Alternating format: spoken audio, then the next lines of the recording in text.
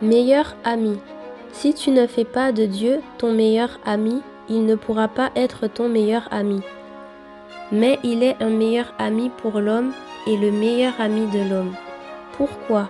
Parce que tu n'as pas appris à prendre du temps pour le connaître comme un meilleur ami. Connaître Dieu qu'on ne voit pas comme une personne qu'on fréquente tous les jours, qu'on apprend à connaître dans l'intimité. Marcher avec Dieu, écouter sa parole, chercher à le connaître. Jérémie 29, verset 13. Mais lui sera toujours là pour toi, pour te tendre la main et te sauver.